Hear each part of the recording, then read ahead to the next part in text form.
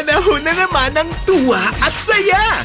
Dahil sa unang pagkakataon, magsasama sa isang pelikula ang mga reyna ng takilya! Fulfillment of my dreams! May bagyo ba? Wanted! Executive Assistant! Sa pabunggahan nilang tatlo, Hanggat hindi ko natatagpuan ang pamilyang umapi sa amin noon, hindi ako titigil. Yung ponytail na yan, matatalo na at last! And because of that, ako! Nitama ako! walang magpapatalo! Ito lang po yung mga nakapasa sa first interview. Pero may isang tanging standout.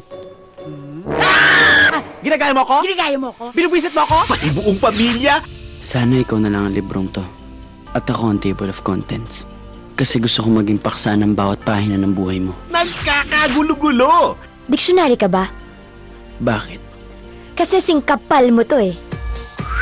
Inihahandog ng Star Cinema at Viva Films ang pampamilyang once-in-a-lifetime higanting regalo ng tanging unkabogable queens ngayong Kapaskuhan. Ikuha mo na rin ako ng maraming tubig. Bakit po? Magsiswimming ako. Suko ang kasal mo. Gaga! Anal na ako! The phenomenal box office star Vice Ganda. Tataasan ko sweldo mo. Gagawin kong 100,000 pesos at meron pang libreng isang sakong bigas kada buwan, luto na. Agad-agad? The Queen of All Media, Chris Aquino. Ang sweldo mo gagawin kong 200,000 pesos. Huwag mo tatanggapin! Bakit? Ako na lang mag-a-apply sa'yo. Ang ganda pa na ng offer mo. At ang natatanging box office comedy queen ay Ay de las Alas. Akin yon! Pwes sa akin, 500! Stab wounds! Kasama pa sina Zyril Manabat, Daniel Padilla at Catherine Bernardo. Dapat rin kita bilang COO. Hindi ko matatanggap, sir. Ayaw mo maging COO? Hindi ko matatanggap. Ano ba yung COO? Sa kawanan, malakas. Hindi niyo ako kailangan pwesahin! Sasama ako na maayos. Eh, may gets. Sa rampahan, wagas.